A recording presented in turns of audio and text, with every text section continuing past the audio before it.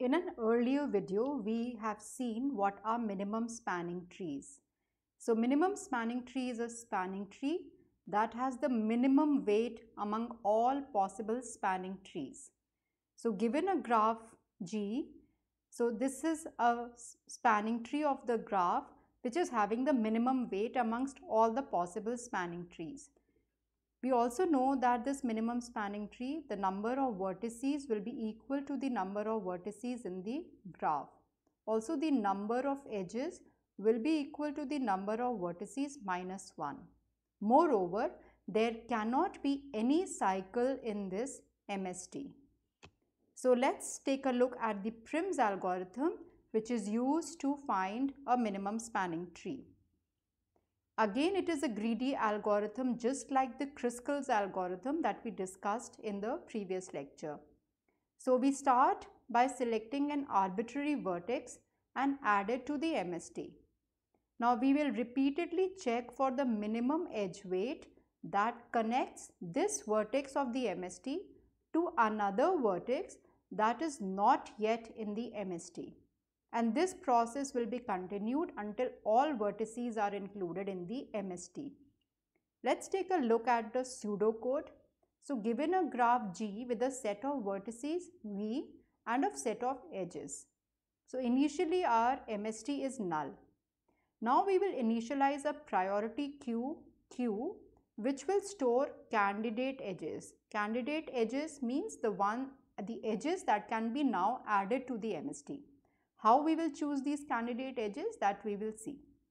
So we will start with any random vertex which we will choose from this set of vertices. So let's say we have chosen this vertex u, we will add this to the MST. Now all the edges that are connected to this start vertex will be added to q which is our q. Now till the time the MST does not contain all the vertices because the MST has to have all the vertices of the input graph.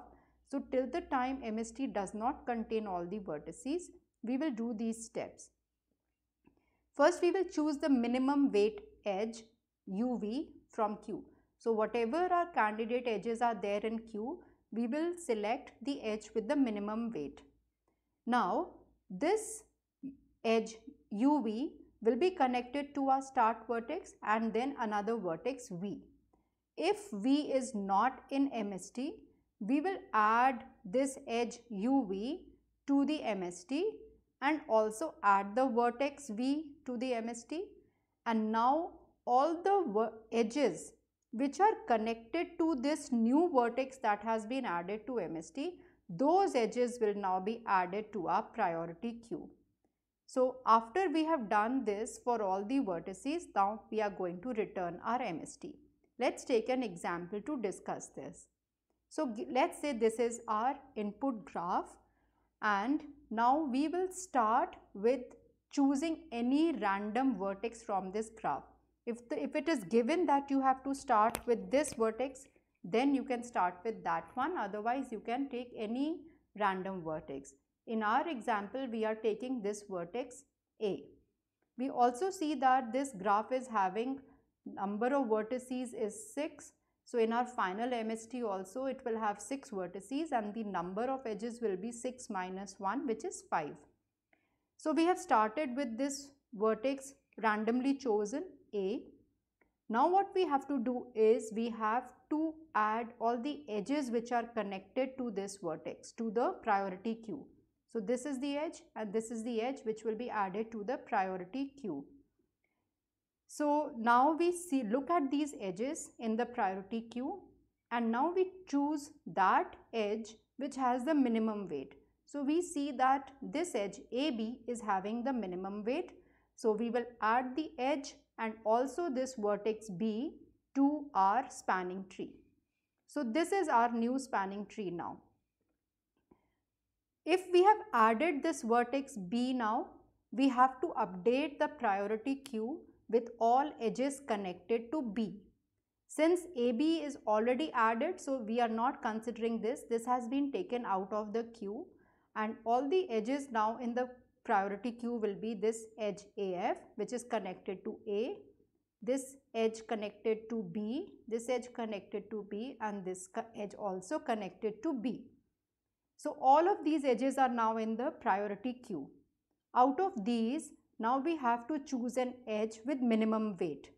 So we see that BC, BE and AF, all of these three are having minimum weight. Also we see that the vertices to which they are connected, C, E and F, they are not in the MST. So we can choose either of these three. So let's say we randomly choose this edge AF. So now we have chosen AF and added it to the MST.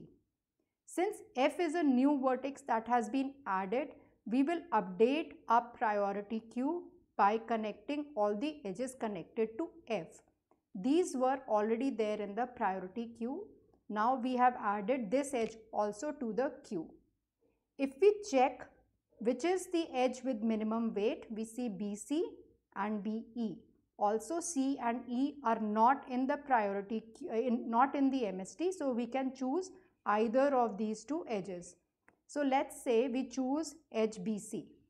So now we have added BC also to our MST and updated the priority queue with edges connected to C.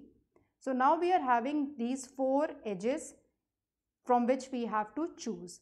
We see that the edge with the minimum weight is this edge CE. So we add CE and vertex E to our MST. Also we have to update the queue now with this new edge connected to E which is DE.